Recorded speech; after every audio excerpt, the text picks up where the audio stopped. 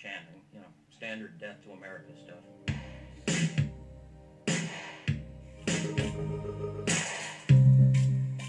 From True Lies to American Sniper, from 24 to Call of Duty Modern Warfare, Western media is full of images of evil brown people who need to be wiped from the earth by noble, righteous white men heroically fighting for freedom and justice. And sure, it's so commonplace by this point that maybe you don't even bat an eye at old fashioned American Islamophobia in our media. Hello, everybody, and welcome back.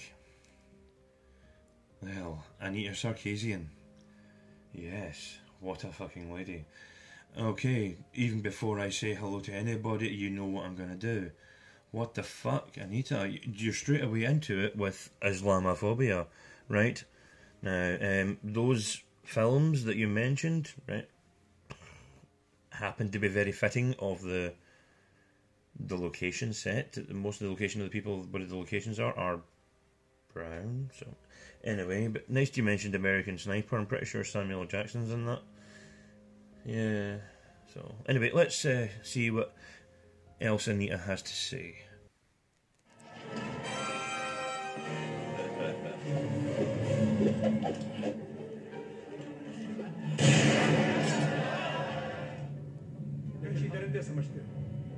वीरान और बंजर कोनों में किस खातर जमा हो रहे हैं?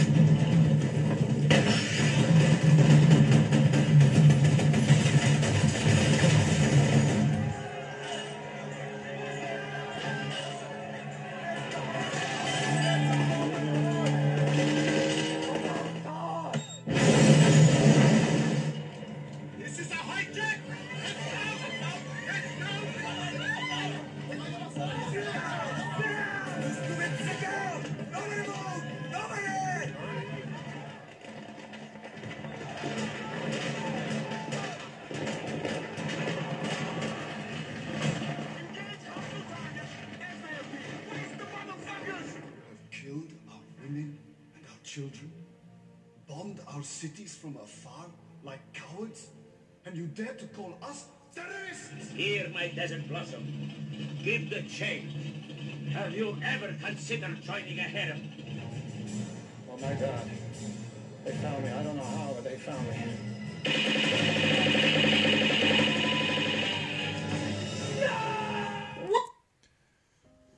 You have got to be kidding me. Right. Okay, I take it all the references are the same films you used twice and referenced twice in there. I'll, I'll just leave that one. You picked on Cannonball Run. Really? Back to the Future? Really?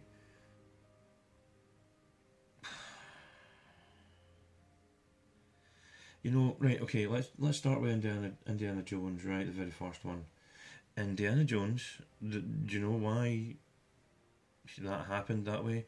I'm pretty sure he was suffering dysentery or something like that, or he had some kind of disease where he was he had some kind of sickness that he was throwing up and like shitting himself consistently. And I'm pretty sure, according to lore, he was supposed to have um, had an epic fight with this other gentleman there, and they shot him. Right?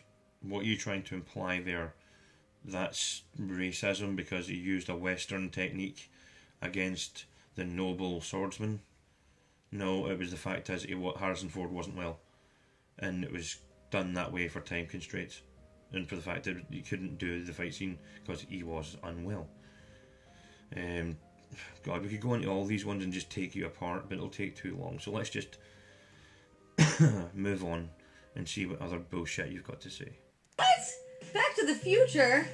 Even that beloved comedy classic takes a moment to toss in a few scary brown men to menace and terrorize our white heroes. Unfortunately, we can't hop in Doc Brown's DeLorean and undo all the harmful representations of Muslims, Arabs, and Middle Easterners that have haunted our stories since, well, basically since the Crusades. But we can try to make sure history doesn't keep repeating itself. Okay, okay, maybe that's not entirely fair. In some ways, things have changed. Once upon a time, non white actors could hardly get any work in Hollywood at all. These days, shows like Homeland and movies like Executive Decision are providing some brown actors with ample opportunity to portray scary terrorists who get gunned down while screaming something absurd like Death to America. It doesn't even matter if you're not actually of Middle Eastern descent. If you're vaguely brown, you can stick around to play bad guys.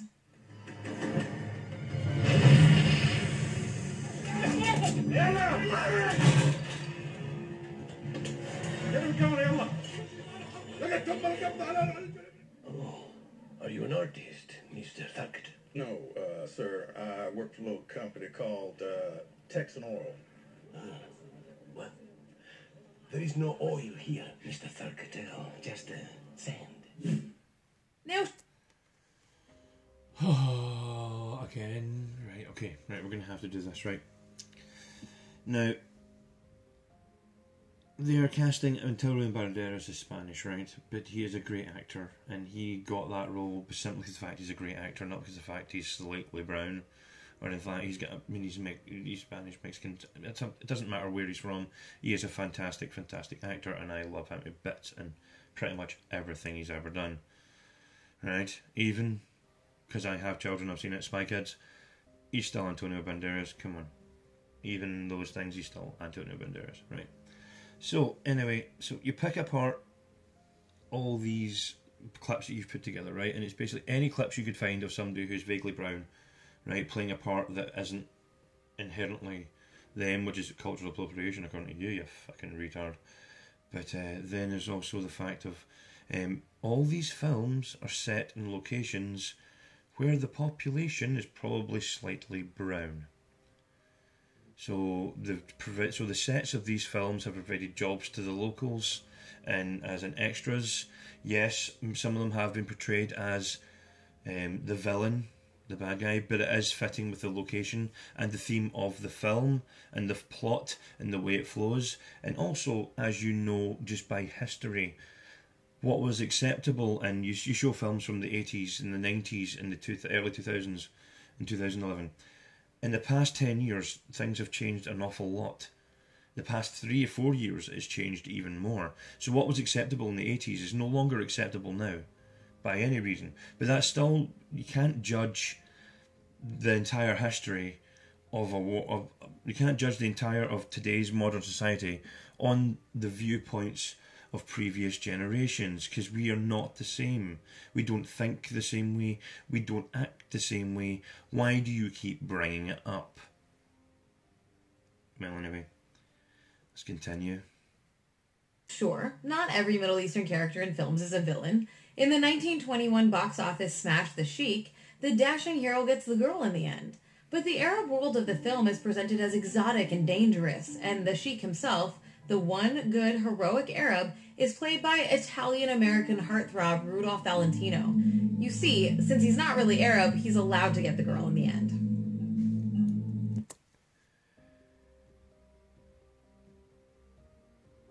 I can't believe I'm going to have to do this, right? What did I just say? You can't judge the views. Look, 19. Seriously. Back then, oh my god, it was extremely racist back then. Everything was. And yes, you're probably right, it was only because he was a white guy, but then you cannot judge the entire of the modern world on films of a generation with an entirely radically different viewpoint. How fucking dare you? Alright. Continue. If you think this kind of racist coding to signify the difference between good Arabs and bad Arabs went away with the advent of talkies, think again. Have you ever noticed how in Disney's Aladdin, the good guy might as well be a tanned American surfer dude, but the bad guys look and sound a little more uh, Arab? I think you'll find Jafar's the British accent. I think you will find that Jafar has a British accent there. Yes, and is more British than anything else. And if he was actually Arab, he is quite effeminate with that, so he would probably be thrown off a building. Am I wrong there? I'm pretty sure I've seen Aladdin many times. I say I've got daughters. Right? He is British, yes. And, and yes, yes, he's British. So let's let's see where else you're going to go with this.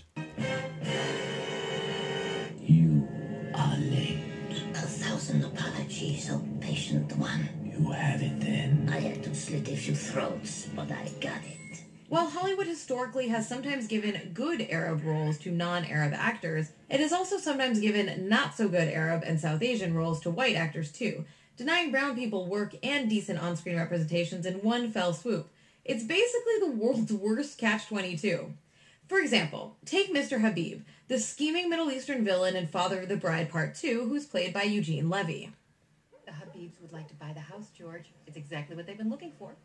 We've lived here 18 years. I don't know if we can get every. Those aren't even real words he's saying to his wife. It's just vaguely Middle Eastern sounding gibberish. Don't think anybody actually cares. Don't think anybody gives a shit. I don't give a shit. Just saying. And the written equivalent of this is very common as well. Video games and TV shows constantly just toss up some squiggly text and try to pass it off as actual Arabic. Well, this one is Arabic, but it sure doesn't say what the Homeland producers wanted it to. Right, okay. Video games with the Arabic written and is this something that looks it's just people are not supposed to pay attention to it really. It's not like it's actually written as a sign and there's a translation underneath it, like it's a direction to go somewhere. It's just a visual thing. It looks it looks good, it looks good and it looks fits with the, the location of the game. But then again, you know a lot about fucking games up, don't you, Anita? Yeah, just because you're an asshole. Yeah, go fuck yourself. As insidious as it is to flatten entire cultures and populations into the land of squiggly writing, there's nothing so pervasive and damaging as Hollywood's tendency to constantly portray vaguely Middle Eastern people as generic terrorists. It's so common that on screen, brown skin has practically become synonymous with bad guys who have little or no character development beyond hating America and freedom fries. Hey, retard! Yeah, you, ya retard! Well, guess what? That just seems to be because everybody who recently has blown up something, or actually as far back as I can remember, to be quite honest, apart from in the 80s with like the IRA, UDA, all that stuff. Um, since that time, and since they all stopped doing that, the only people to blow stuff up have been people from that ethnic group regardless of what country they come from, that ep- uh, that ethnic group has been the ones blowing things up. Am I wrong? No, I'm not. Okay, so let's continue.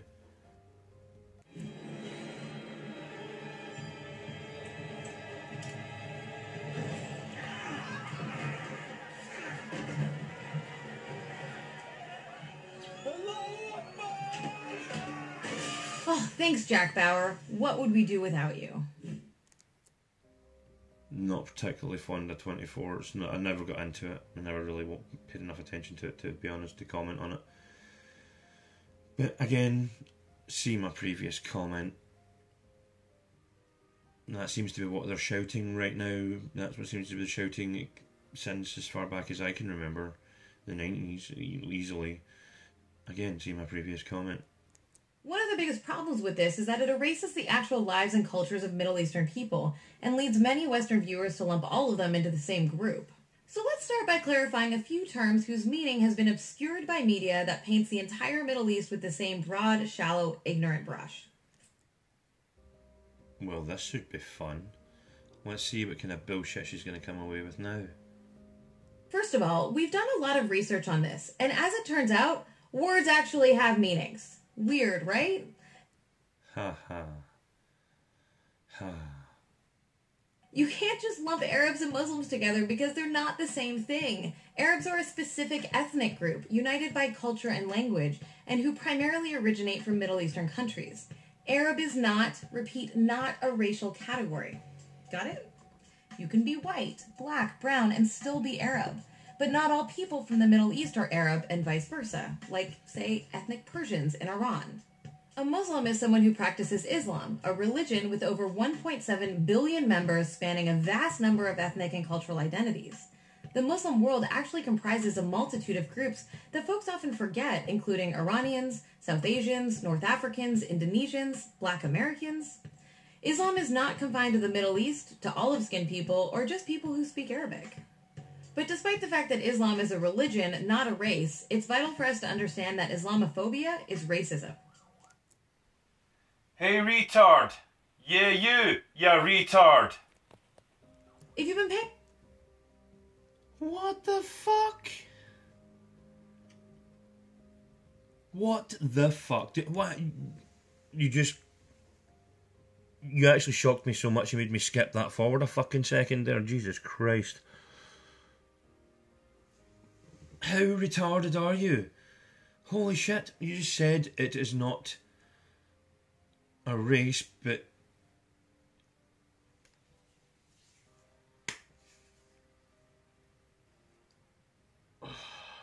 Right. attention this far, you might be asking yourself if Islam isn't a race, then how can Islamophobia be racism? The answer lies in another ism, one many Westerners aren't particularly familiar with. That's Orientalism. Fuck off. Just fuck off. Fuck you, Anita, right? Fuck you, fuck you, fuck you. You've gone past logic, you've gone past reason, you've gone past everything. Fuck off, Oriental. Right, okay, listen, I've had enough of this bullshit. You are a fucking waste of time. As always, if you want to watch this whole piece of piss for yourself, I will leave a link in the description. Right. Ladies and gentlemen, thank you very much for watching. If you liked this video, hit like. If you want to comment, leave a comment. And if you want to subscribe, please do so. Nah, fuck it, just subscribe anyway. I'm Alexander Kingsfallen, and I'll see you in the next one you